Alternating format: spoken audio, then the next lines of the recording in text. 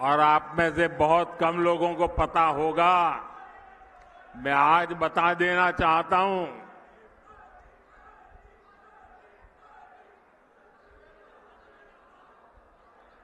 चूरू में जो उम्मीदवार है देवेंद्र और दिल्ली में है नरेंद्र। आप में से बहुत कम लोगों को पता होगा। देवेंद्र के साथ मेरा बहुत पुराना निकट नाता रहा। है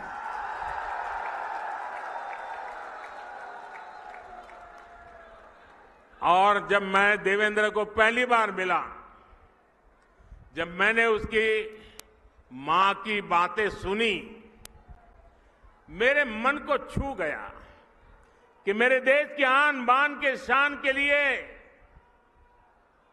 शेखावटी की गरीब माँ, अनपढ़ माँ, अपना बेटा जिसका शरीर मुसीबतों से गुजारा करने वाला शरीर है, लेकिन उसको भी दुनिया में देश का नाम रोशन करने के लिए माँ प्रेरित करती है।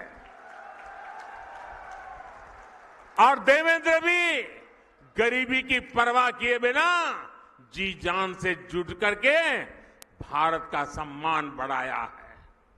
देवेंद्र को टिकट देने के पीछे मोदी का मकसद यही था कि जो गरीब माँ का बेटा होता है, उसके सपने भी पूरे होने चाहिए।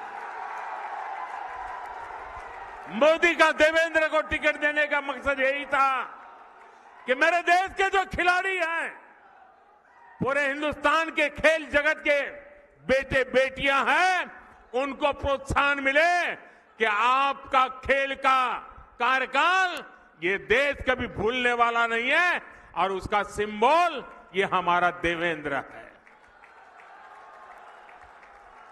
और इसलिए मैं चूरू वासियों से विशेष रूप से ऐसा गरीबी से ही लड़ा, ऐसा नहीं, दुनिया में जाकर के देश का डंका बजाया।